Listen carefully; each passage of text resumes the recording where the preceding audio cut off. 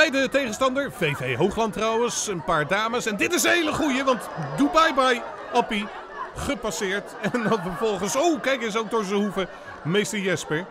Ja, zij kunnen ballen, die meiden daar op het eh, middenveld. En Hoogland wordt sterker, maar dit doet Luc Steen, de aanname. Een van zijn handelsmerken.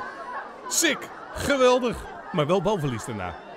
Daar komt Hoogland in, dan zit hij ertussen. Luc Steen en dan ook nog deze no-look paas. Na deze fantastische aanname van Luc Steen.